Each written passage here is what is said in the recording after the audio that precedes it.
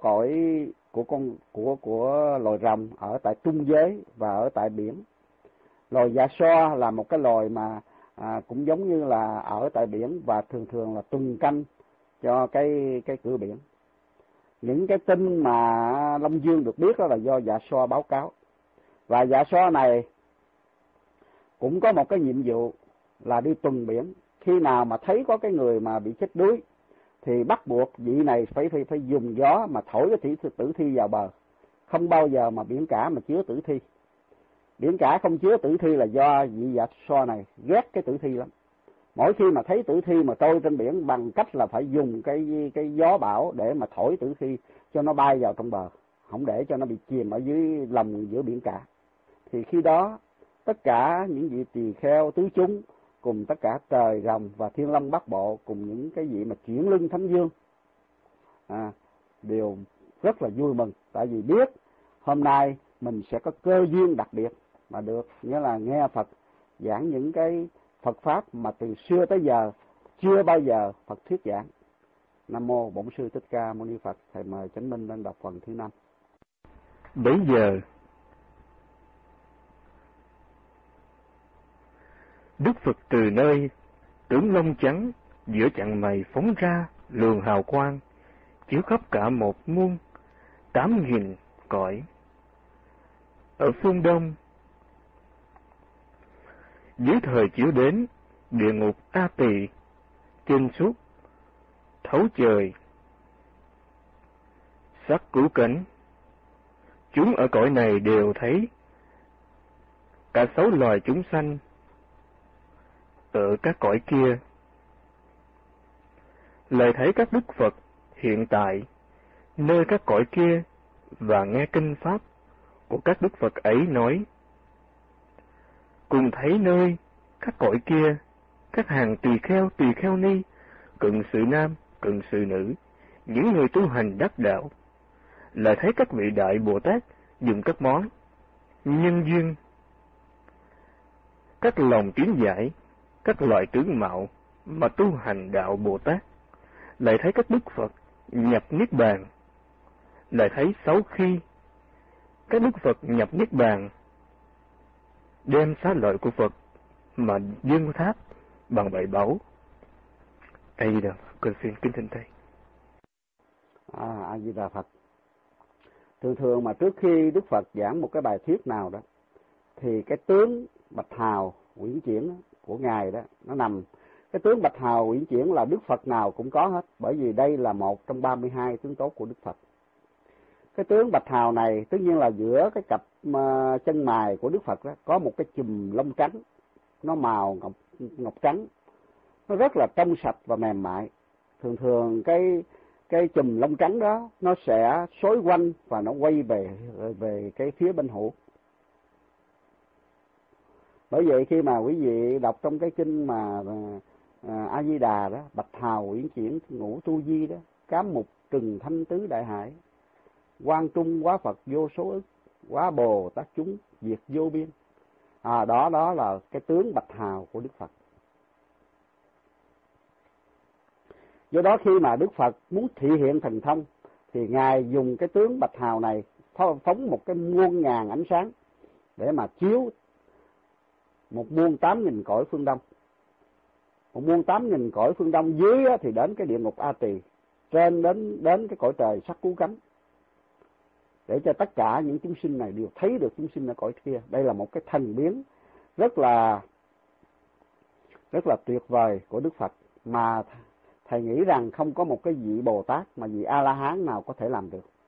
Bởi vì khi mà muốn cho thấy chúng sinh này mà thấy được chúng sinh kia để mà phát ra cái lòng tính giải đầy đủ trước khi nghe Phật pháp thì chỉ có Đức Phật ngài mới làm được. Bởi vì tất cả các chư Bồ Tát các ngài chưa có đủ cái 32 tướng tốt nhất là cái bạch hào tướng cũng chưa có. Do đó cái bạch hào tướng là một cái tướng rất là à, thanh tịnh tuyệt vời. Nó giúp cho đức phật phóng quang từ cái tướng đó để mà sôi hết tất cả thế giới. Và từ những thế giới đó nhờ cái ánh hào quang sáng soi của đức phật mà tất cả chúng sinh có thể nhìn thấy nhau. Do sự nhìn thấy nhau mà thấy được cái sự đau khổ cũng như thấy sự là à, vui sướng của những chúng sinh khác, do đó tính tâm tu nó bắt bắt đầu nó có. Khi mà tính tâm tu nó có thì đức phật giảng pháp nó mới đi vào lòng của đại chúng được. Và chúng sanh chẳng những thấy những chúng sinh mà những chúng sinh đó còn thấy những đức phật khác ở những cái thế giới khác mà đang giảng kinh pháp. Và thấy những người hành đạo thấy những cái vị bồ tát mà họ dùng những cái cái cái món nhân duyên hay là những vị bồ tát giàu dùng những cái tính giải hay những vị bồ tát dùng những cái bố bố nhiếp pháp để mà à, an ủi chúng sinh để mà cứu độ chúng sinh. Đó là những cái tướng mạo tu hành của những bồ tát. Nó đều thể hiện trong cái tướng mà hào quang long trắng của đức phật khi mà cái ánh hào quang đó phóng ra.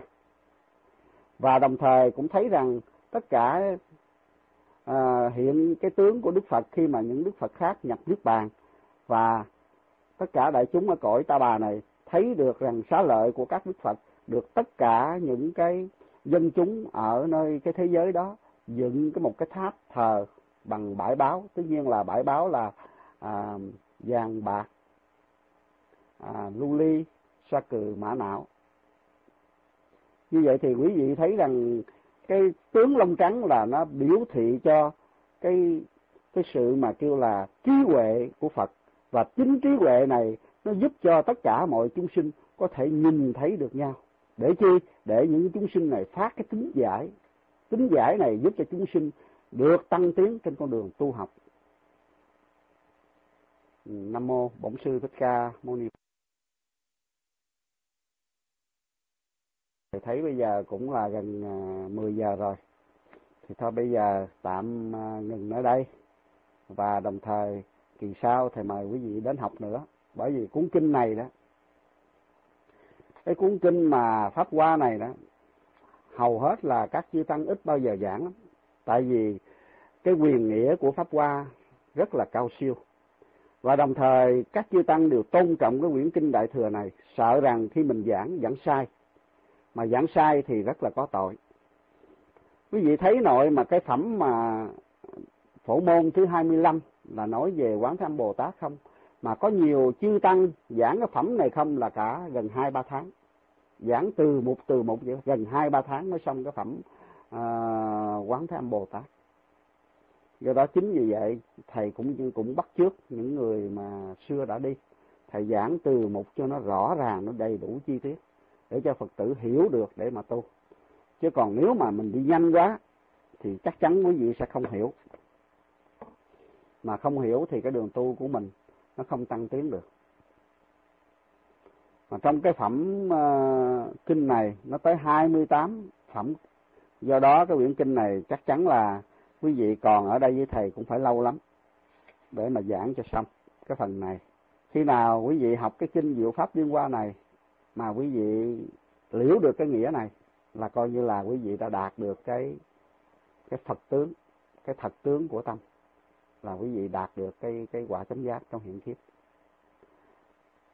Cái cuốn kinh này cái sự tuyệt diệu của nó đến đổi mà có một cái môn phái ở bên người Nhật họ họ chỉ là vị giáo chủ đó chỉ khuyên những cái người mà môn đồ những người môn sinh và những người mà à, tu chỉ cần niệm nam mô diệu pháp liên hoa, hội thượng phật. Chỉ cần niệm như vậy thôi. Là vị giáo chủ nói rằng, cái công đức của nam mô diệu pháp liên hoa, hội thượng phật, nó đủ để đưa những cái người mà niệm câu đó giảng sanh về cõi cực lạc rồi. Không cần phải tu thêm một cái điều gì khác nữa hết đó. như vậy thì quý vị thấy rằng, nội mà cái đầu kinh không mà nó đã đủ công đức như vậy, mà quý vị còn học ở trong cái phần phía trong nữa thì quý vị biết rằng công đức của nó là có thể bất khả tư nghị không thể nào mà có thể mà dùng cái trí huệ của phàm phu mà tính đếm được hết. Bởi vì tại sao?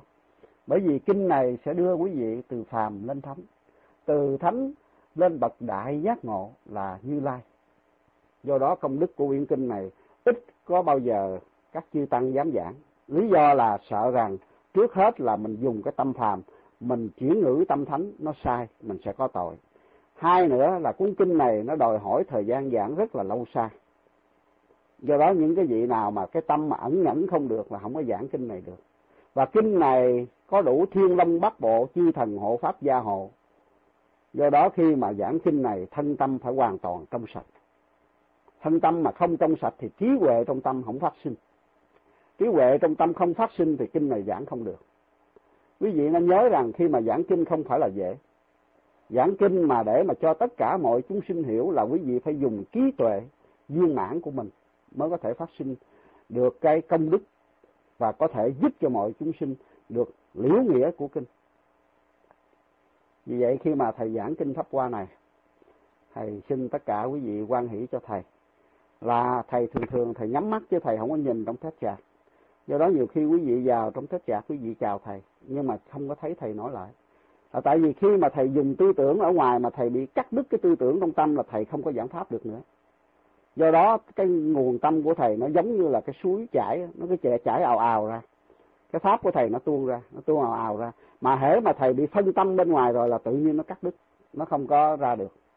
Do đó quý vị quan hỷ cho thầy là khi nào vào trong room tết chạc chào thầy mà thấy thầy không thấp chặt chào lại, hoặc là thấy thầy không có chào lại, quý vị cũng quan hỷ cho. Tại tại vì lúc đó, thầy đang nhập vào ở trong cái chân tâm để mà thầy giảng pháp. Nam mô bổn sư thích ca.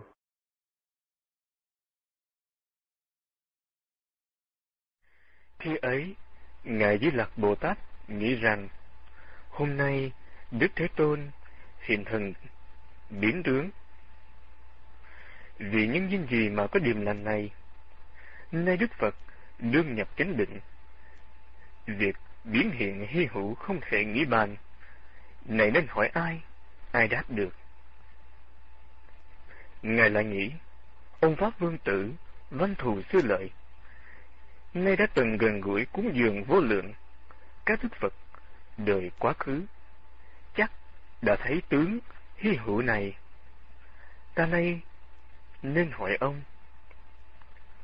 Lúc đó hàng tỳ kheo tỳ kheo ni cận sự nam cận sự nữ và các trời rồng quỷ thần vân vân. Đừng nghĩ rằng thần tướng thần thông sáng chói của đức phật hiện đây nay nên hỏi ai? À, con xin thỉnh thầy. Nam mô bổn sư thích ca mâu ni phật.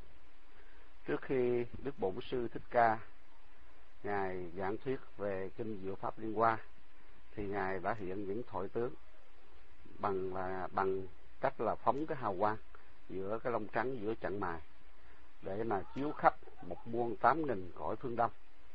Dưới thời chiếu đến cõi địa ngục a tỳ trên thì suốt thấu cõi trời sắc cú cánh. Và trong pháp hội bây giờ thì ngài di lạc à, ngài mới nghĩ rằng hôm nay đức thế tôn vì một cái nhân duyên gì mà ngài hiện cái điềm lành như thế này? À, thầy xin cho quý vị biết ngài di lặc bồ tát ngài chính là cái vị nhất sinh bổ xứ đã được đức bổn sư thích ca mâu ni phật thọ ký sẽ thành phật trong cái đời hiện kiếp. Hiện tại thì ngài di Lặc bồ tát đang ngự trị cõi đâu sức đà thiên ở trong cái phần nội viện. Trong cái cõi trời thứ tư đâu sức đà thiên nó chia ra làm hai viện. Một viện phía bên ngoài gọi là ngoại viện do các chư thiên các vị thiên dương và chư thiên thiên à, ở nơi đó. Và bên bên trong thì gọi là nội viện nơi mà đức di Lặc bồ tát cùng tất cả thập phương các chư bồ tát nguyện giảng sinh về cái nội diện. Và những vị bồ tát này ở trong nội diện cung, giờ lúc mà đức ờ, di đạt bồ tát giáng sinh thành thật thì các ngài đi theo để mà hộ trì chánh pháp. Từ thời gian mà đức thích ca mâu ni cho đến đức di Lặc bồ tát thị hiện, khoảng thời gian đó là tám triệu một trăm lẻ tám ngàn năm và ngài sẽ giáng sinh ở dưới nhân gian. Ngài sẽ ngồi dưới cây long hoa mà thành đạo vô thượng chánh đẳng chánh giác. Thời gian đó thì thọ mạng của loài người sẽ là tám chục ngàn tuổi. À, quý đại chúng thấy bây giờ con người thọ mạng có một trăm tuổi là cái tuổi mà nói là một trăm tuổi đời là cao nhất.